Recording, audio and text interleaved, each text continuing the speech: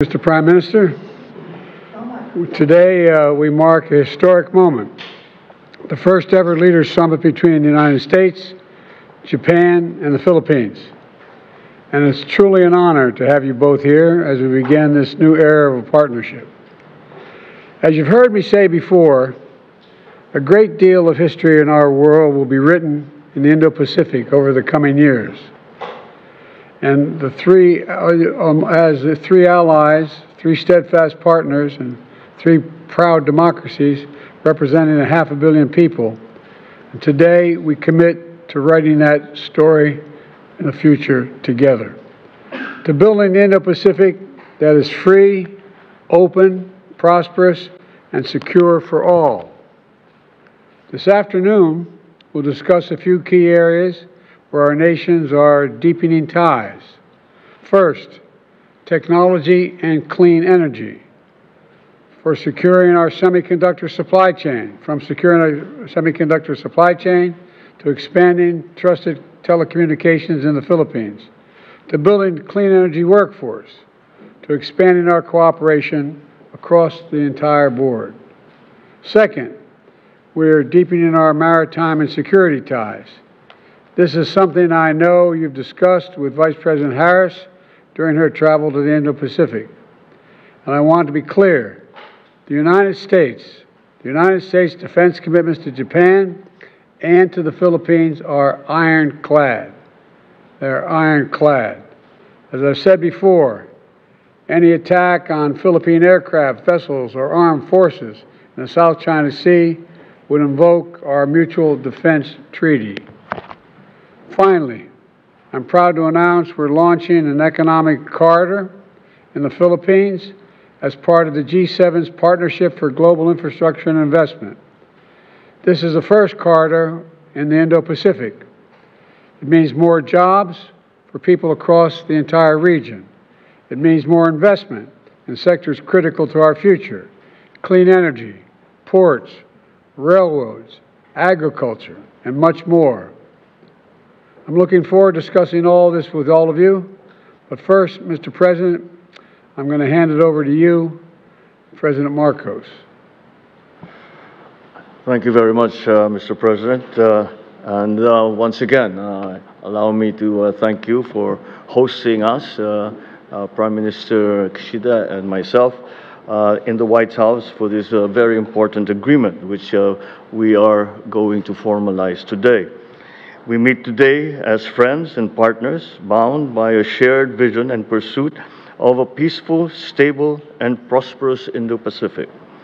It is a partnership born not out of convenience nor of expediency, but as a natural progression of a deepening relation and robust cooperation amongst our three countries, linked by a profound respect for democracy, good governance, and the rule of law.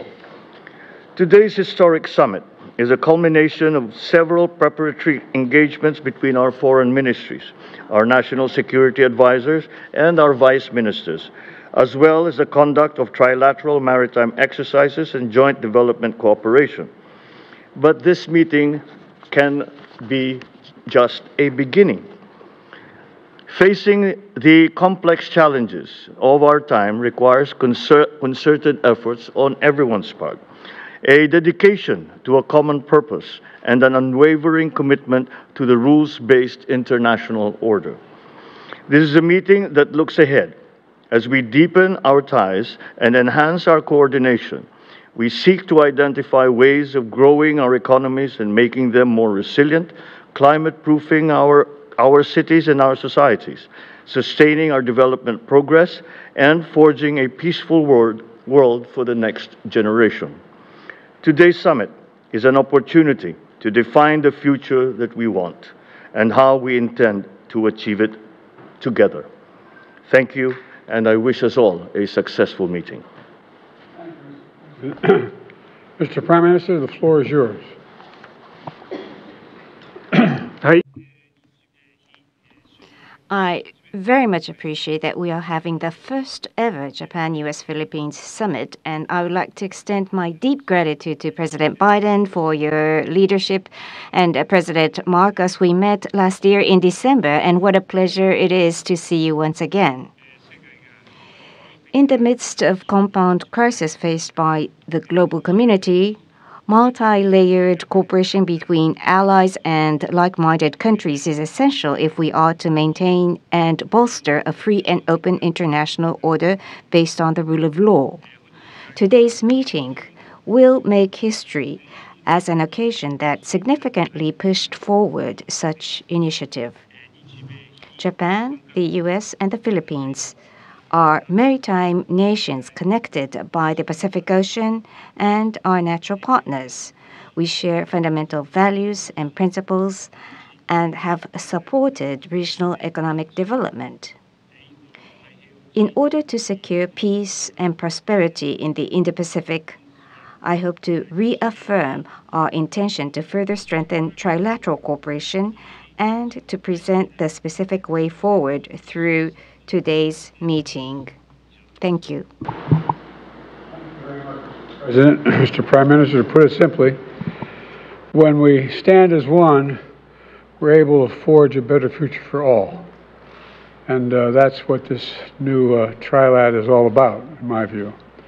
Building a better future for people across the Indo-Pacific and, quite frankly, beyond, around the world.